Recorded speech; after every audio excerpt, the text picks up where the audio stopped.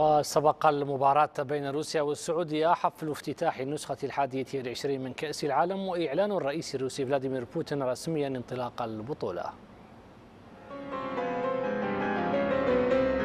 على ملعب لوجنيكي في العاصمة الروسية انطلق الحفل الافتتاحي لكأس العالم وذلك أمام نحو 80 ألف متفرج لا سيما من المشجعين الروس والسعوديين الذين تواجدوا لمساندة منتخب بلادهم في المباراة الافتتاحية.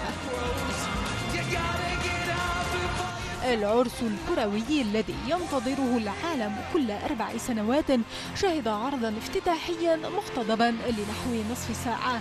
شارك فيه الأسطورة البرازيلي رونالدو وأحياه المغني البريطاني روبي ويليامز ورافقته السوبرانو الروسية أيدا غاريفولينا. وقدما فقرة غنائية مشتركة بعنوان ملائكة إلى جانب التميمة زابيفاكا. الحفل الذي تخللته بعض اللوحات المعبرة عن الثقافة الروسية. رفعت فيه أسماء وأعلام الدول الاثنين والثلاثين التي تشارك منتخباتها في المونديال. كما حملت سفيرة كأس العالم وملكة جمال روسيا السابقة فيكتوريا لوبيريفا كرة البطولة الرسمية إلى أرض الملعب. وهي نفس الكرة التي عادت من رحلتها الفضائية بعدما أرسلت إلى محطة الفضاء الدولية على متن مركبة فضاء روسية. افتتاح البطولة رسميا جاء بإعلان الرئيس الروسي فلاديمير بوتين انطلاق النسخة الحادية والعشرين لنهائيات كأس العالم التي تستضيفها بلاده حتى الخامس عشر من تموز يوليو المقبل.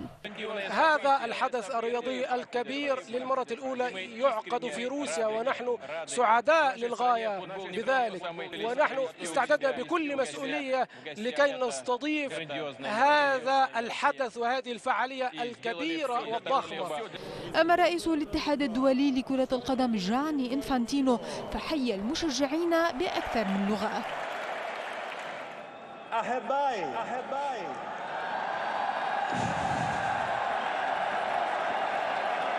أهلا وسهلا. إلى كأس. إلى كأس. العالم في روسيا. حفل أعطى إشارة افتتاح البطولة على ملعب يعد من الأبرز في روسيا ومن المقرر أن يستضيف المباراة النهائية أيضاً.